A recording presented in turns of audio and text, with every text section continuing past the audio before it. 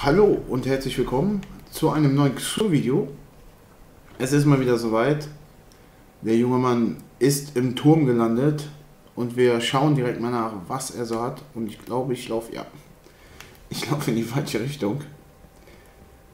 Ja, ähm, ich hoffe, dass er dieses Mal die ähm, neuen Warlock-Handschuhe dabei hat, denn das sind so von den neuen Sachen so die, die mich richtig interessieren noch, die ich auch noch gar nicht bekommen habe, leider.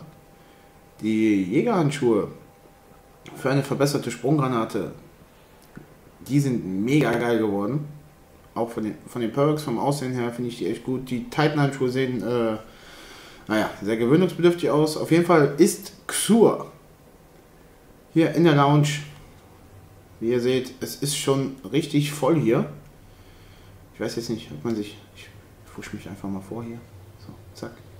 So, und zwar hat er dabei ein Vermächtnisengramm diese Woche mal. Letzte Woche hatte er ja ein normales Exoengramm, diesmal wieder ein Vermächtnisengramm. Das heißt, Jahr 1 Werte, Jahr 1 Sachen raus. Dann hat er Titan-Handschuhe, die Opferfäuste mit Intellekt, gewährt explosiver Scheiterhaufen, erhöhtes Nahkampfangriffstempo, schnelleres Nachladen mit Scout-Gewehren. Für den Jäger hat er den Himmelsbrenner-Anhang dabei. Intellekt-Disziplin, Kills mit schweren Waffen können Sphären generieren, mit aufgeladenen Super können Sphären Spezialmunition gewähren. Lakai der Dunkelheit mit Nahkampf-Kills zu beseitigen gewährt Bonus Superenergie. Wenn du Sphären aufhebst, erhältst du Bonus Nahkampfenergie. Dann hat er für den Warlock den Hirsch dabei, Disziplinstärke einmal pro Leben, einmal pro Leben, legt die super schnell wieder auf, wenn alle Teammitglieder sterben. Chance auf Wiedereinstieg mit Überschild. Äh, mehr Superenergie durch Nicht-Hüter-Kills, Bonus Granatenenergie, wenn Sphären aufgehoben werden. Als Waffe hat er diese Woche dabei den guten alten Falkenmond. Der Falkenmond hat die Perks drin. Zwei zusätzlich, äh, zusätzliche zufällig gewählte Kugeln in deinem Magazin verursachen beträchtlichen Bonusschaden ein zufälliges Geschoss im Magazin verursacht beträchtlichen Bonusschaden. Also definitiv ein Must-Have. Dann hat er hier die Ornamente und zwar einmal Herz aus Gold für die Wahrheit ein Ornament und für den Unbefugten. So. Glasnadeln zum Auswürfeln eurer Stats der exotischen Ausrüstungen. Das sind eigentlich die Standardsachen, die er immer dabei hat drei der Münzen, um die Chance zu erhöhen auf Exos von Majors und Ultras. Ne, nur von Ultras, Entschuldigung. Ähm, dann Set, äh, schwere Munitionssynthesen, die Sparrow Upgrades und Lichtpartikel. So, meine Kaufempfehlung, ja, fällt sehr knapp aus. Falkenmond.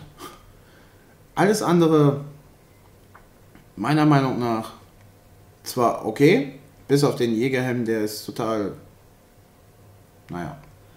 Ähm, auf jeden Fall der Falkenmond, definitiv eine Waffe, die richtig stark im PvP ist.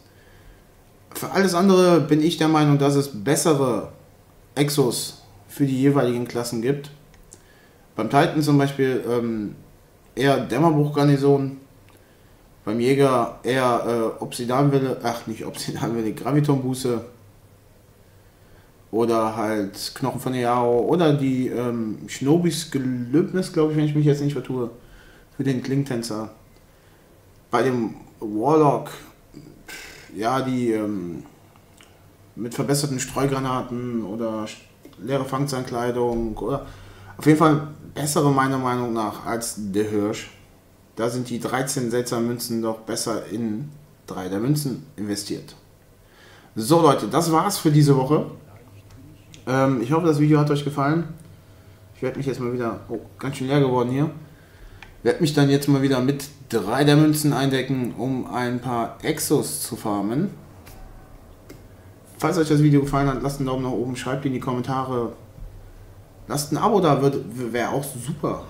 Würde ich mich tierisch drüber freuen. In diesem Sinne, Leute, bleibt sauber. Bis zum nächsten Mal.